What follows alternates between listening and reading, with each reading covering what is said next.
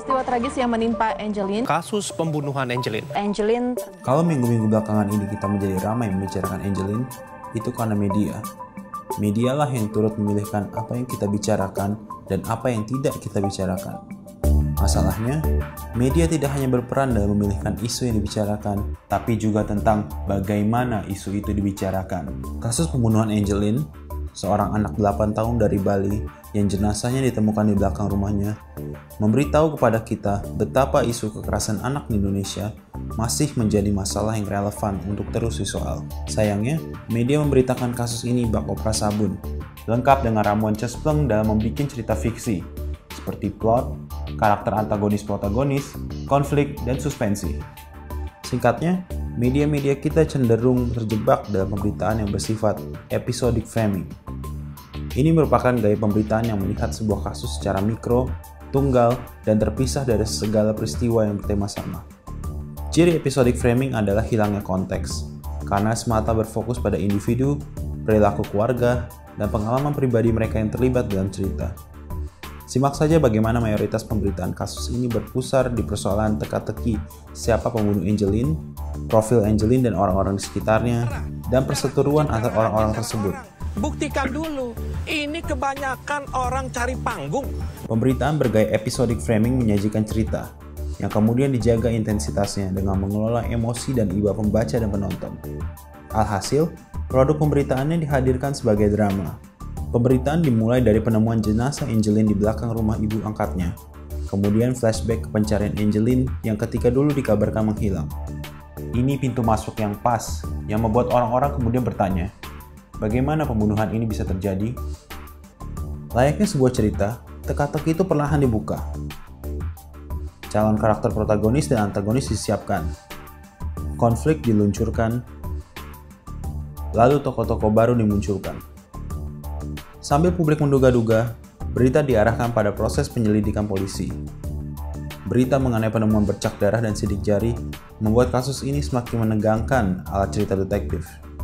Dengan pemberitaan yang hanya fokus pada kisah-kisah, sebenarnya publik digiring untuk melihat masalah ini secara sepenggal, terpisah dari urusan-urusan lain yang punya hubungan. Akhirnya, publik hanya berhenti pada sikap kasihan dan simpati, atau paling jauh mengutuk tapi luput diajak untuk melihat akar permasalahan yang lebih bersifat struktural, seperti peran pendidikan, tanggung jawab negara, layanan kepolisian, partisipasi warga, hingga kebijakan hukum terkait masalah perlindungan anak. Begitulah yang media katakan tentang bagaimana cara membicarakan kasus ini. Yang tidak atau jarang media katakan adalah kaitan antara kasus Angelin dengan upaya penghapusan kekerasan anak di Indonesia media luput untuk memberitakan kasus kekerasan anak dalam kerangka thematic framing.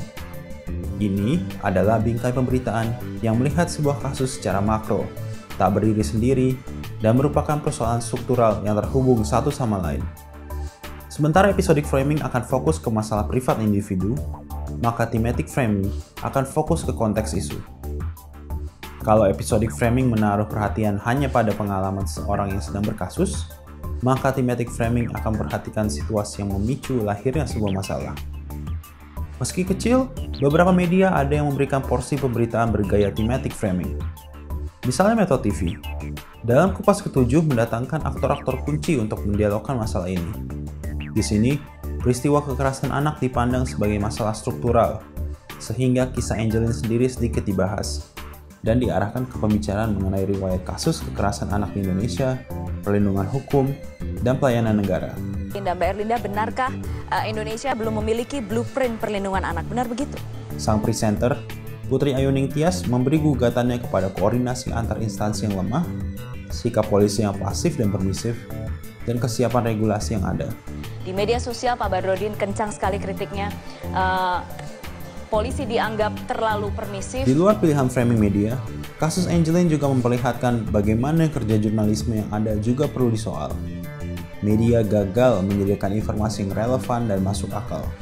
Topik firasat, apa yang ada di firasat ibu mistis, saat ini? hingga mewawancarai seleb atau orang tak berkapasitas dalam kasus ini menjadi menu utama pemberitaan. Perhatian media yang tinggi pada kasus ini bisa saja dimaknai sebagai ekspresi mencari laba. Sebab, selama kasus Angel ini bergulir, Selama itu pula lah berita tentang kekerasan terhadap anak lainnya terekspos. Pemberitaan akhirnya bergantung pada seberapa ia laku, bukan pada nilai kepentingannya. Artinya, media memandang kasus ini sebagai komoditas ketimbang isu publik. Kekerasan anak adalah persoalan serius. Data menunjukkan tingginya jumlah kasus kekerasan anak di Indonesia, dan ini terus meningkat dari tahun ke tahun. Namun, pemberitaan bergaya episodic framing tidak berkontribusi dalam mengurai akar permasalahan. Ia berhenti pada sikap memperlakukan publik sebagai pembaca novel bestseller. Sebab, episodic framing memandang pembaca dan penonton sebagai konsumen. Ini berbeda dengan thematic framing yang memandang pembaca sebagai warga negara. Kalau solusi yang ditawarkan episodic framing adalah informasi yang lebih baik, maka thematic framing meminta kebijakan yang lebih baik. Sehingga tali kasus kekerasan betul-betul terputus dan tak akan ada korban atau Angelin-Angelin yang lain.